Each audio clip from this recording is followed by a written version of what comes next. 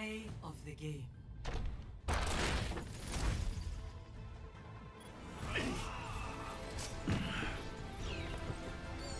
Die! Die! Die! Triple kill.